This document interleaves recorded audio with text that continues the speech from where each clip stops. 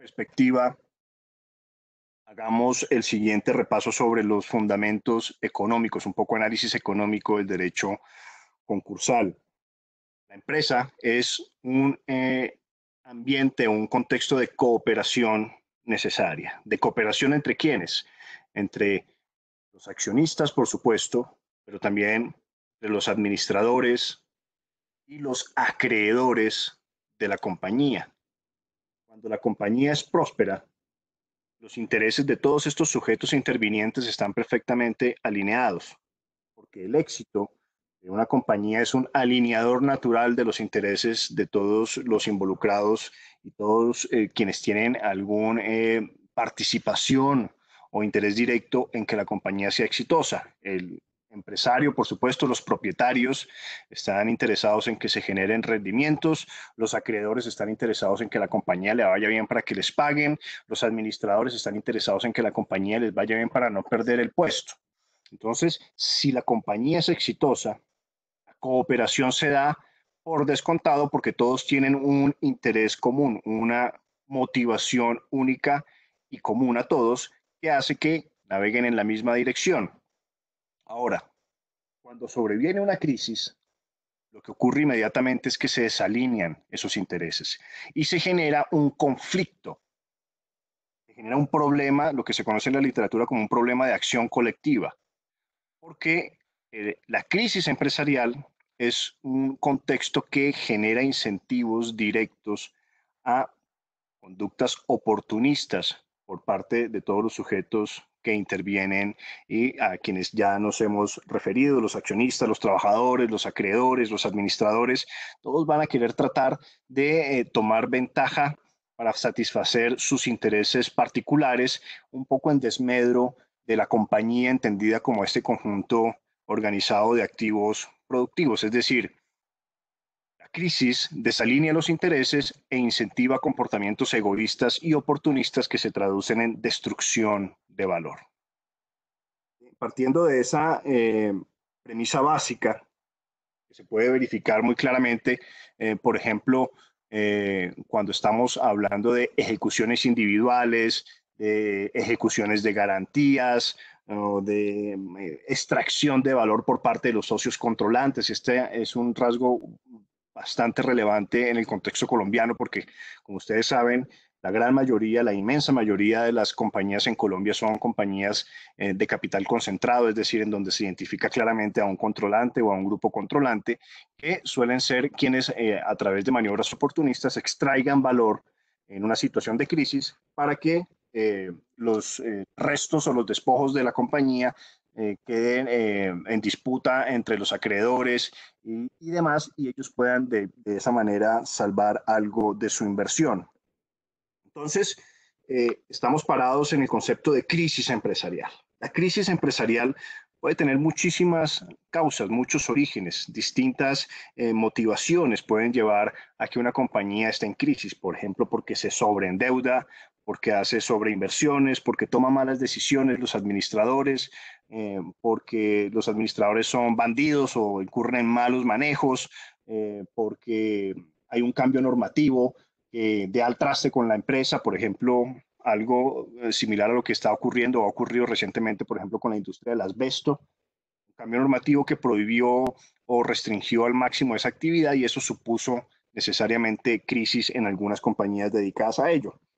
Entonces, frente a las distintas, eh, por ejemplo, eh, es muy recurrente en Colombia los conflictos entre accionistas. A veces es una compañía bellísima, muy buena, con muy buenas utilidades, con muy buena participación en el mercado, pero está sumergida su, eh, internamente en unas luchas intestinas entre accionistas que en últimas se traducen en pérdida de valor o en destrucción de valor para todos los interesados. La crisis, de nuevo,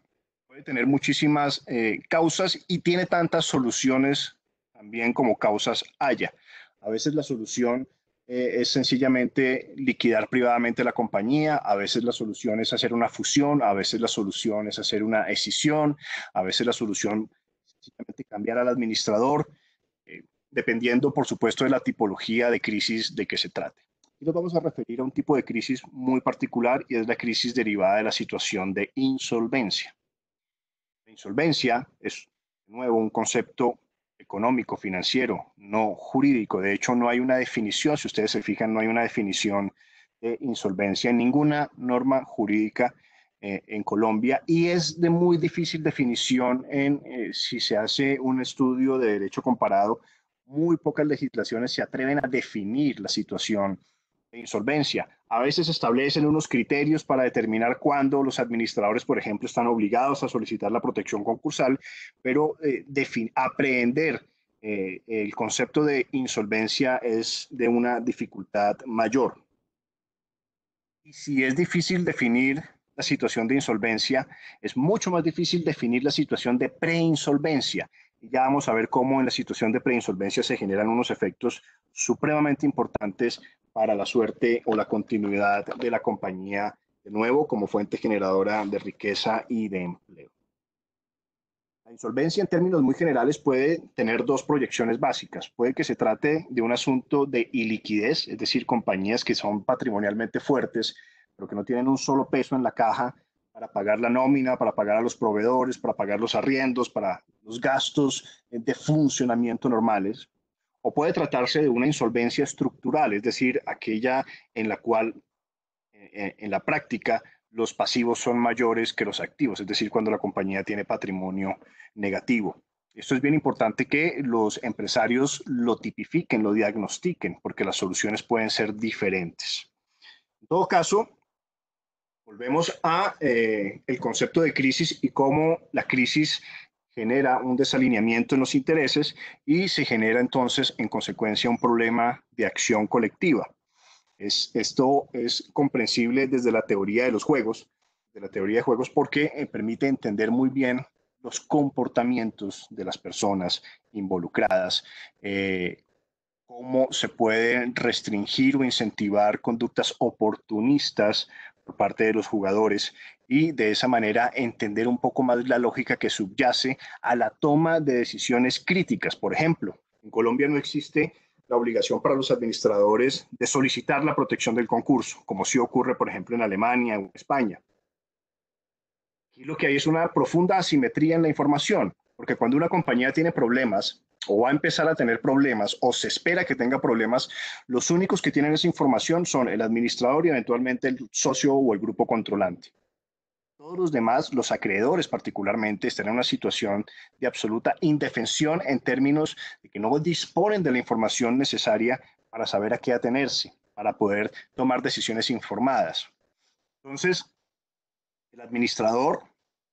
bajo esa configuración legal, va a tener incentivos suficientes para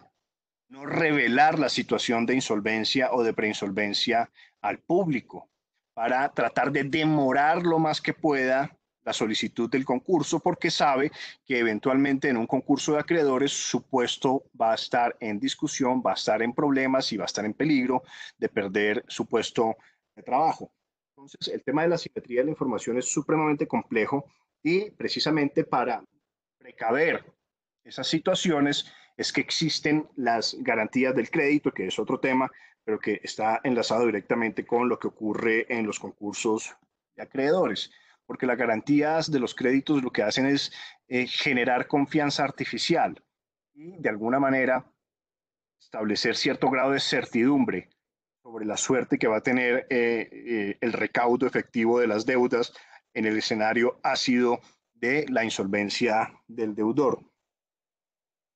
La razón más común por la cual las compañías en todo caso llegan a una situación de crisis o de default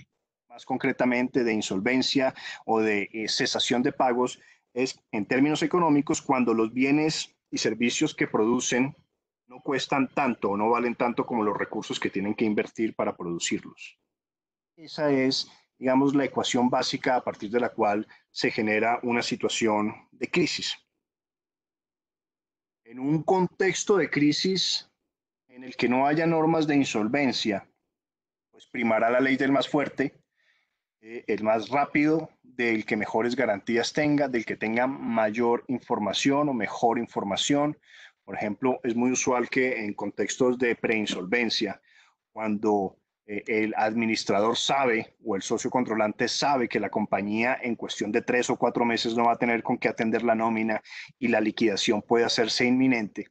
es posible que, precaviendo esa situación, empiece a tomar decisiones oportunistas, empiece a tomar el administrador, por ejemplo, la decisión de apostar la compañía en maniobras supremamente arriesgadas. Y aquí se genera una paradoja bien interesante desde el punto de vista económico, porque cuando una compañía está en situación de patrimonio negativo, quiere decir que los inversionistas, desde el punto de vista financiero, no jurídico, los inversionistas ya perdieron toda su inversión. Y eso quiere decir en consecuencia que los pocos o muchos activos que aún tenga la compañía bajo la administración de ese sujeto determinado, del administrador, en realidad ya no pertenecen a la compañía, sino que son de los acreedores. El administrador está administrando unos activos que pertenecen a los acreedores porque los socios ya perdieron toda su inversión al estar el patrimonio en negativo. La paradoja es que los administradores, a pesar de que están jugando con su dinero, no tienen ningún poder para remover ni para cuestionar las conductas de estos administradores. Entonces, frente a este tipo de situaciones, eh, los ordenamientos jurídicos o bien pueden disponer normas que fuercen la cooperación o bien puede disponer normas que no fuercen la cooperación. En este último escenario, estamos hablando de regímenes o de eh, países o de jurisdicciones sin normas concursales o al menos sin normas concursales modernas, que eh, es un poco el estado de naturaleza, el, que primero llega, eh, es el que se queda con todo, el que primero demanda, el que primero logra la medida cautelar, el que primero logra el embargo, es el que se queda con todo, y los demás entonces quedan eh, viendo un chispero. Cuando estamos en un contexto o en una eh, jurisdicción en la que existe un modelo de insolvencia medianamente razonable, medianamente eficiente, medianamente moderno, eh, se establecen normas que fuerzan la cooperación, porque la cooperación es la mejor manera de evitar que se destruya valor. Entonces, desde ese punto de vista, las normas concursales tienen una función fundamental y ya vamos a, llegar a ese punto específico. Un sistema de insolvencia que sea medianamente eficiente lo que permite es disminuir por un lado los costos asociados a la insolvencia del deudor y por otro lado discernir aquellas compañías que merezcan ser salvadas porque son viables de aquellas que deban ser liquidadas porque no son viables vamos a eh, entrar un poco en los detalles de lo que consiste el concepto de viabilidad y sobre todo quién toma la decisión de si una compañía es o no viable. Tradicionalmente se le ha asignado, se le han asignado al derecho concursal unas funciones mm, eh, más o menos razonables eh, a partir de las cuales se ha entendido, por ejemplo, que el derecho concursal tiene como función principal servir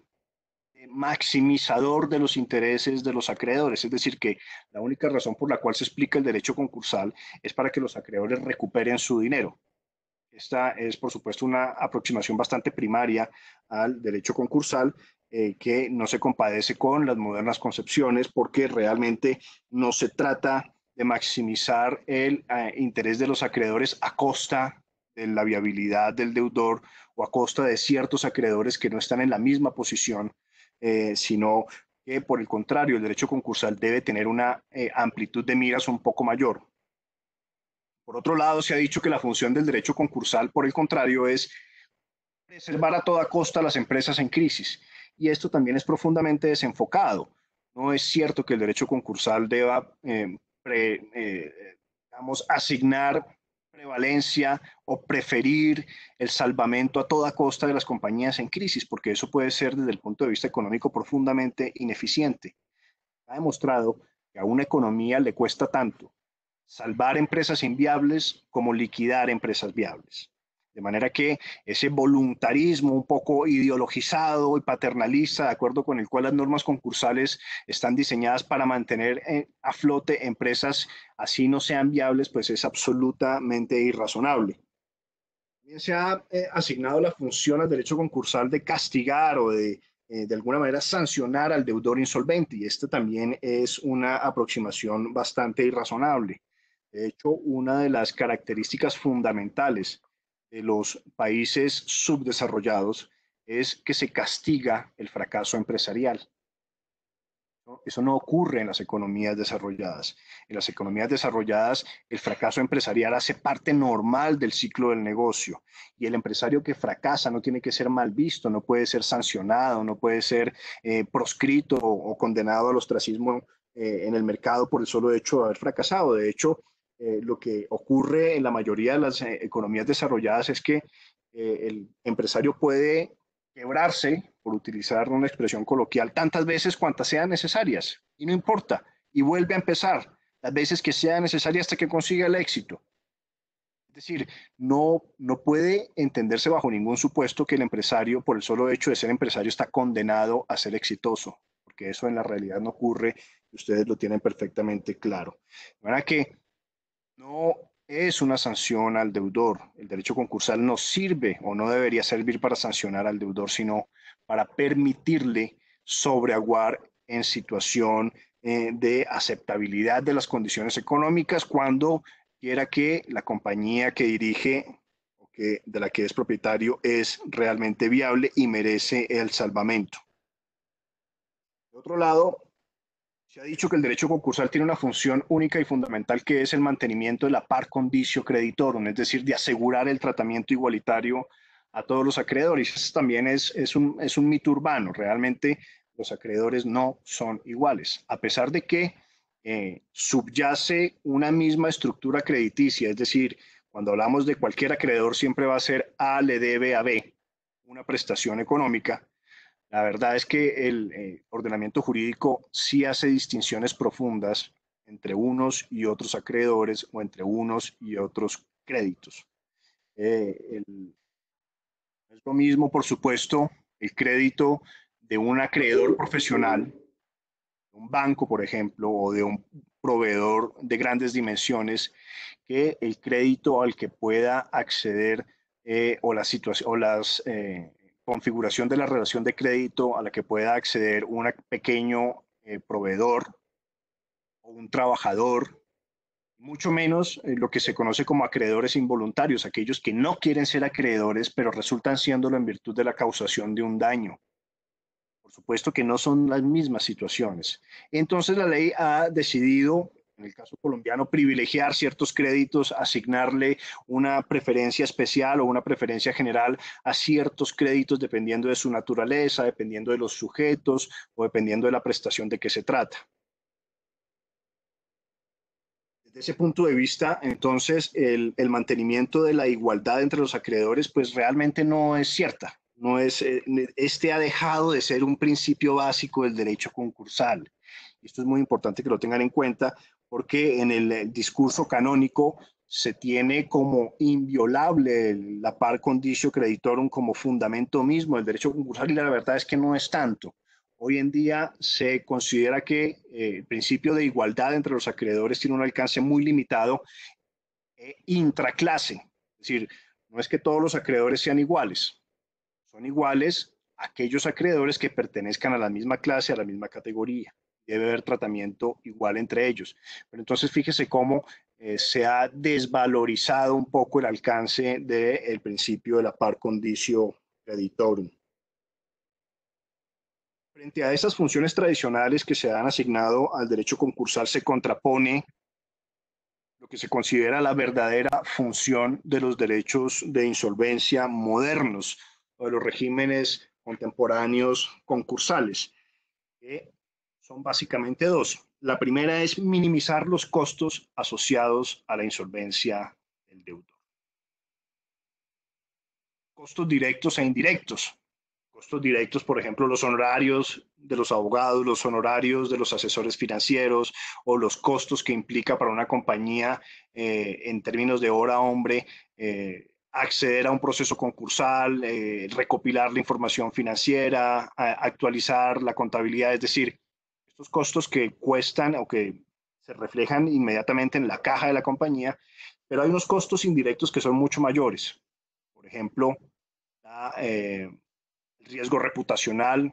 la pérdida de las relaciones de crédito que le ha costado al empresario tantos años construir,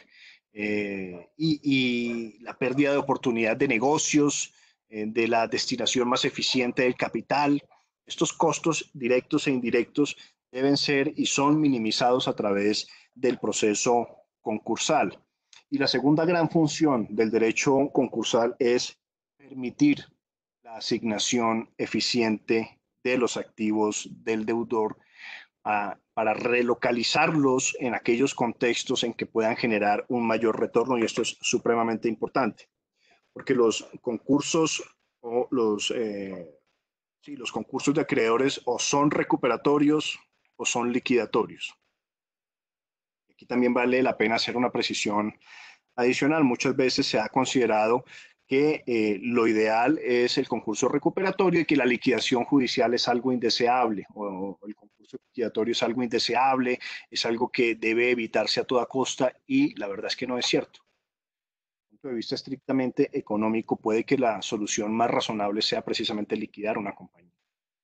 No debería depender de la voluntad de, ni de un juez, ni de una autoridad administrativa, ni siquiera del propio deudor. Es una decisión que deben como vamos a ver ocurre en Colombia, es una decisión que deben tomar los acreedores. Cuando una eh, compañía no es viable en funcionamiento, lo más razonable es que se liquide, porque de esa manera eh, se va a permitir que esos activos reingresen a, eh, al circuito económico y se localicen en unos contextos en que se les permita obtener un retorno mayor. Ahora, Dicho eso, pues eh, queda claro que la clave del juego no es reducir el riesgo de insolvencia. La mejor forma de evitar o de prevenir la insolvencia es precisamente que los empresarios no emprendan, no, eh, no se endeuden, no asuman ninguna clase de riesgo. Y esa es una posición, por supuesto, antieconómica, facilista y además ajena a la realidad. Cuando eh, la compañía accede a deuda quiere decir que es una compañía sana, quiere decir que alguien en el mercado confía en esa empresa, tanto como para prestarle dinero sin conocerlo. Y un poco para eso sirven también las garantías, para generar, para disminuir la simetría de la información entre el acreedor y el deudor. La insolvencia realmente y, bien entendida, como lo mencionamos, hace parte del ciclo económico. La insolvencia está en el día a día de los negocios las compañías todas tienen altibajos. Fíjense lo que está ocurriendo en este momento. Muchas compañías están en una crisis de liquidez grandísima porque no han podido abrir al público. No quiere decir que sean inviables, quiere decir que tienen problemas de liquidez y que necesitan eventualmente la posibilidad de acceder a remedios legales que les permitan salir de esa situación de crisis. Entonces, eh, es un mal mensaje eh, aquel de acuerdo con el cual eh, la, debe priorizarse o debe privilegiarse o debe hacerse todo lo posible por reorganizar las compañías en crisis para evitar la indeseable liquidación. Como les digo, hace tanto sentido eh, liquidar una compañía cuando es inviable como mantenerla y reorganizarla cuando es viable. ¿Y, y a qué nos referimos con esto de la viabilidad? Una compañía es viable cuando genera más eh, rendimientos o cuando agrega más valor en funcionamiento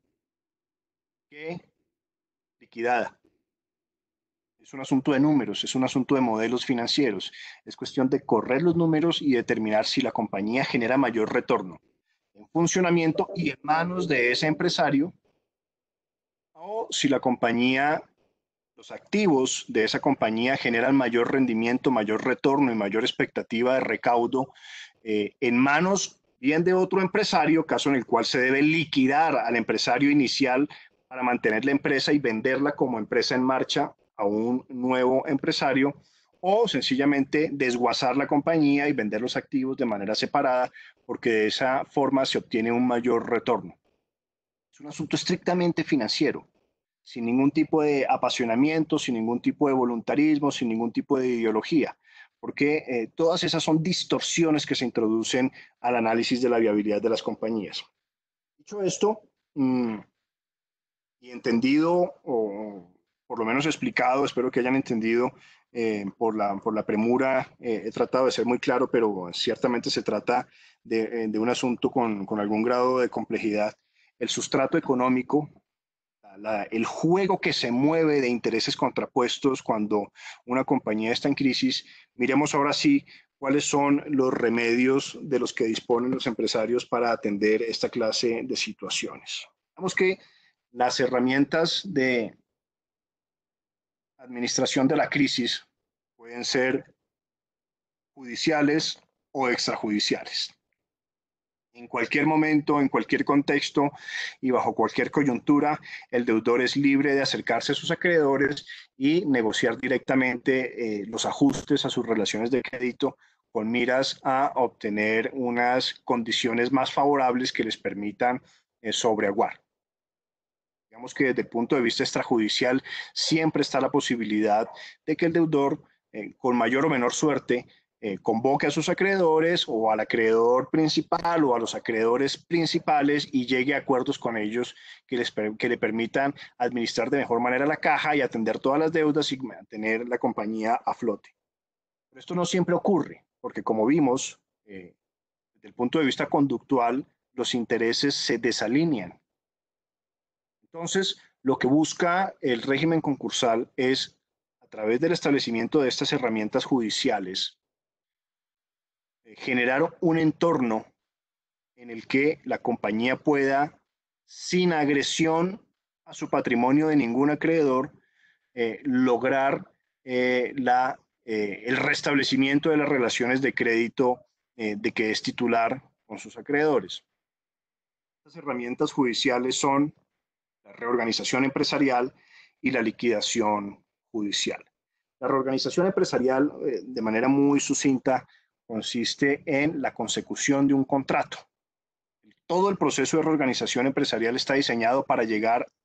no a una sentencia, sino a un contrato. Es un contrato que se forma a instancias judiciales y es un contrato bastante particular porque se forma o se configura solamente con el consentimiento de los acreedores.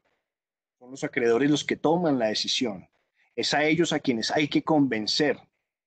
¿Quién los convence? El propio administrador, el deudor. Es el que les dice, mire, eh, yo estoy en esta situación, así como están las cosas no les puedo pagar a todos, pero si hacemos estos y estos y estos ajustes, si ustedes se fijan en este plan de negocios y se fijan en este flujo de caja, van a ver que yo en cuestión de cuatro, cinco, diez años les voy a poder eh, pagar a todos. En ese sentido, el, acuerdo de reorganización es el mecanismo a través del cual los acreedores deciden venderle de nuevo, es una venta hipotética, eh, la empresa a su dueño y decirle, sí, creemos en usted, eh, por favor, eh, siga administrando y me paga en estas y en estas condiciones. Cuando los acreedores no están convencidos, pues sencillamente no le dan su voto al deudor, al acuerdo de reorganización, y de esa manera la opción que se abre es la de la liquidación y por esa vía obtener el repago de sus deudas. Esto es muy importante porque ya les voy a hablar, veo aquí muchas eh, solicitudes de información sobre el decreto 560, eh, en efecto, pero es que lo que el decreto 560 prevé es la consecución precisamente de acuerdos de reorganización a través de unos mecanismos extrajudiciales, de manera que no se pueden entender eh, esos mecanismos extrajudiciales si no se tiene claro en qué consiste un acuerdo de reorganización. Entonces ya voy para allá, ya vamos a mirar en breve las herramientas nuevas dispuestas por el legislador. Excepcional. Si la solución entonces es eh, la liquidación, ya no habrá una venta hipotética, sino una venta real. O, bien una venta real de la empresa en marcha o una venta real de sus activos desagregados. En cualquier caso, la ley de insolvencia privilegia eh, la el mantenimiento de la unidad de la empresa en marcha y eh, por esa vía el mantenimiento de la unidad productiva y de los puestos de trabajo. Pero eso no siempre se logra, de manera que en algunos eventos eh, será necesario, será conducente o razonable eh, el desagregamiento de los activos y su realización pronta y ordenada por parte del liquidador. En Colombia, la ley 1116 de 2006 prevé dos procesos de recuperación, de reorganización empresarial propiamente dicho y la validación de un acuerdo extrajudicial de reorganización. y prevé un solo procedimiento de liquidación, el proceso de liquidación judicial. En cuanto a los procesos recuperatorios, eh, nos acabamos de referir en extenso al proceso de reorganización empresarial. En el proceso de validación de un acuerdo extrajudicial, eh, la negociación, la proyección, la consecución de los votos para un acuerdo de reorganización se hace por fuera del despacho y después se lleva ante el juez del concurso para que le dé su confirmación y de esa manera se produzca el efecto de vincular absolutamente a todos los acreedores, así no hayan participado o así hayan votado en contra del acuerdo de reorganización. Eh, está supuestamente diseñado para que funcione por fuera del despacho judicial, sin embargo en la práctica ha sido muy difícil la operación de o la efectividad eh, de los eh, acuerdos extrajudiciales sometidos a validación por una razón fundamental y es aquí en donde enganchamos un poco con la nueva realidad normativa. El mecanismo de la validación de acuerdos extrajudiciales eh, ha sido de alcances modestos, por decirlo menos, porque el deudor en esa situación no tiene ninguna clase de protección judicial. Es decir, el deudor tiene que eh, asumir la heroica tarea de conseguir un acuerdo de reorganización expuesto a la posibilidad de que todos los acreedores inconformes o que no les interese o que no le crean puedan directamente agredir su patrimonio a través de ejecuciones individuales y por esa vía, como vimos en la primera parte, se llegue a una situación de destrucción de valor. La ley, eh, el decreto legislativo expedido hace un par de días, eh, perdón, ayer, por el, por el Gobierno Nacional en ejercicio de las facultades extraordinarias, eh, establece una figura que ya es conocida en otros ámbitos y en otras jurisdicciones como preconcurso, acá fue recogida como una negociación de emergencia de un acuerdo de reorganización. A diferencia de lo que ocurre con el proceso de validación de un acuerdo extrajudicial, en este nuevo preconcurso establecido de manera excepcional y con una vigencia solamente de dos años para esta coyuntura, pero que es posible que tenga vocación de quedarse si después decide, como esperamos que así ocurra, y así lo propusimos también, eh, que se incorpore decididamente a nuestro estatuto de insolvencia de manera permanente, lo que le permite al deudor es negociar un acuerdo de reorganización con sus acreedores en un ambiente extrajudicial, pero con la posibilidad, uno, de que el juez lo confirme y en ese caso extenderle sus efectos a todos los acreedores y, por otro lado, que esa negociación se surta en un ambiente de no agresión judicial. ¿Cómo está configurado el proceso? El deudor interesado presenta un aviso a la Superintendencia de Sociedades diciendo, a partir de mañana eh, voy a iniciar una negociación privada con mis acreedores. La Superintendencia de Sociedades hace una revisión eh, formal de los anexos de ese aviso y le dice, a través de un auto, eh, tiene eh, la autorización para que inicie esas negociaciones y tiene un término legal de tres meses para que dentro del término usted venga de nuevo acá con su acuerdo de reorganización debidamente votado con las mayorías y con todos los requisitos previstos en la ley 1116. Por eso era importante y no se podía prescindir de referirnos a la ley de insolvencia porque sigue siendo el estatuto de referencia y de hecho el propio decreto habla de que en caso de que exista cualquier vacío o cualquier laguna es al estatuto de insolvencia el que se debe acudir. Durante esos tres meses y a partir de esa especie de autoadmisorio o de autorización de inicio de las negociaciones privadas, eh, nadie puede demandar al deudor. Y si hay procesos de ejecución en curso, no pueden continuar.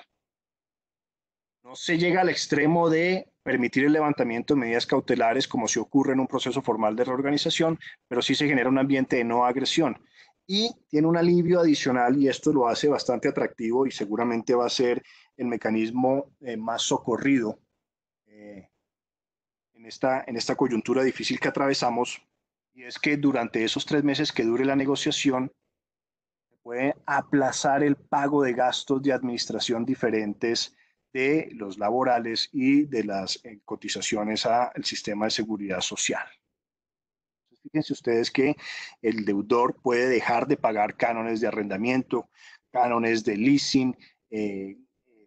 digamos, eh, obligaciones periódicas frente a proveedores y destinar todo ese capital al funcionamiento mínimo de la compañía para que se mantenga con una caja aliviada mientras dura la negociación. Esto es una protección solo de tres meses. es, es, un término legal, por lo tanto es imposible prorrogarlo, ni siquiera por orden judicial se puede prorrogar, no se puede suspender tampoco. Son tres meses y el término es absolutamente preclusivo y dentro de esos tres meses no es que al cabo de los tres meses se presente el acuerdo, no, el acuerdo debe presentarse dentro de los tres meses, antes de que expire, porque en caso de que no ocurra así, si se presenta un día después, quiere decir que el procedimiento ha fallado y no se puede volver a intentar eh, utilizar esa herramienta dentro del año siguiente. En mi opinión, es un eh, procedimiento bien logrado, bien diseñado. Es, eh,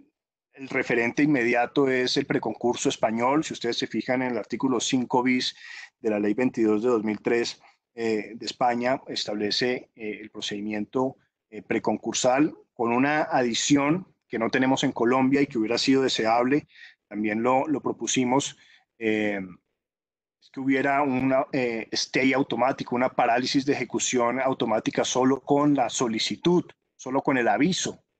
Colombia no, en Colombia el aviso lo que puede generar es eh, la reacción del juez admitiendo la posibilidad de la negociación privada y es a partir de ese pronunciamiento del juez que se produce la parálisis de las ejecuciones. Sin embargo, a pesar de eso, eh, realmente se trata de una herramienta fundamental y que con toda seguridad va a aliviar y va a permitir que las compañías se restituyan eh, de manera adecuada en sus relaciones de crédito y puedan continuar siendo Por otro lado, eh, el decreto legislativo estableció otro mecanismo, también de naturaleza extrajudicial, que es el concurso o el procedimiento de recuperación empresarial ante las cámaras de comercio. Quienes de los asistentes tengan memoria eh, recordarán que la ley 550 del 99 eh, también fue un estatuto un poco de emergencia para la crisis de finales del siglo pasado. Establecía la posibilidad de eh, adelantar esta clase de procedimientos ante las cámaras de comercio. Eh, no es una novedad en ese sentido. Y este, esta herramienta de la negociación de acuerdos de reorganización a instancias de las cámaras de comercio si bien está pendiente de algunas reglamentaciones porque eh, establece unas novedades que eh, realmente no estaban previstas en la legislación colombiana, eh, pues puede tener una importancia muy, muy, muy trascendente, perdón, por lo siguiente. Hay muchas empresas del sector real que no tienen acceso a regímenes de insolvencia recuperatoria, pensando, por ejemplo, en las instituciones de educación, estoy pensando, por ejemplo, en las empresas de servicios públicos, estoy pensando, por ejemplo, en, eh, bueno, las empresas eh, de salud si se remite al Estatuto Orgánico del Sistema Financiero, pero eh, en términos generales estos grandes jugadores no tienen un mecanismo concursal recuperatorio a su disposición. Este mecanismo de negociación de acuerdos de reorganización ante las cámaras de comercio permite que aquellos eh, sujetos de crédito que están expresamente excluidos de la ley 1116 en el artículo tercero y que no tienen un régimen especial asignado de recuperación empresarial puedan acudir a esta, a esta alternativa. como en el preconcurso, eh, el tema se resuelve al final en que se lleva el acuerdo de reorganización ante el juez del concurso para que le imparta su confirmación y establece, eh, a diferencia del preconcurso, la posibilidad de que si existen disputas relativas a la calificación y grabación de créditos y demás, puedan ser resueltas a través de mecanismos alternativos de solución de conflictos. Es decir, es posible y lo eh, menciona expresamente el decreto, por ejemplo, que se opte por el arbitraje, un arbitraje también muy expedito, resuelva eh, todas estas contingencias. No tiene promotor. Lo que está previsto es que eh, exista la figura de un mediador que debe ser también reglamentada y establecidas unas listas y demás en los centros, eh, en las cámaras de comercio para que se implemente su funcionamiento. Este mecanismo, como advertimos, está pendiente de unas reglamentaciones adicionales, no está listo para usar como si lo está eh, el preconcurso, que yo creo que a partir de la vigencia del decreto que empezó hoy, yo creo que es bien, bien, bien previsible que vaya a ser un, éxito en términos de salvamento eh, urgente e inmediato de estas compañías que atraviesan serias dificultades. El decreto eh,